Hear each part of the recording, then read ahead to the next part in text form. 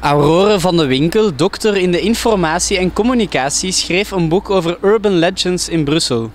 Wij gingen samen met haar enkele plekjes bezoeken waar de urban legends zich afspelen.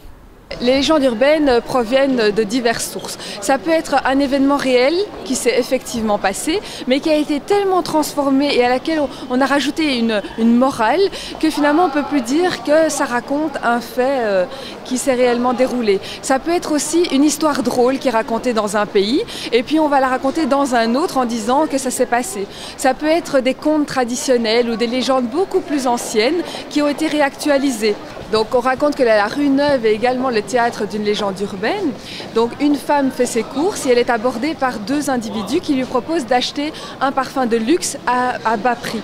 Donc elle décide de les suivre et les suit dans une petite ruelle sombre. Il lui présente la bouteille de parfum, elle la sent et en fait ce n'est pas du parfum, c'est de l'éther. Donc elle tombe évanouie, ils lui prennent son sac et Dieu sait ce qu'ils auraient pu lui faire d'autre. Dans les cinémas, c'est vrai que ce qu'on a pu entendre, c'est qu'il fallait faire très attention quand on allait dans les salles, quand on s'asseyait sur les sièges, parce qu'il y avait des personnes qui avaient laissé des seringues infectées au virus euh, du sida et euh, qui pouvaient donc contaminer euh, les pauvres consommateurs.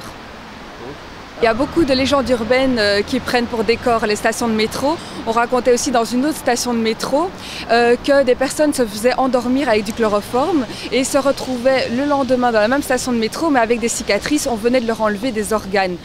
Deze urban legends zijn niet uniek aan Brussel. Gelijkaardige verhalen vinden we ook in andere steden terug. On va retrouver exactement les mêmes récits et c'est vrai qu'avec Internet et les nouvelles technologies de l'information et de la communication, les récits, on peut passer très facilement les frontières. La seule différence, c'est que les personnes vont les adapter à leur ville. Donc, euh, ils vont utiliser le nom d'un magasin qui est proche d'eux, le nom d'une rue aussi qui est très fréquentée et qui se trouve dans leur ville, parce que l'important, c'est de donner l'impression que ce fait est arrivé vraiment euh, dans l'environnement extrêmement proche des individus.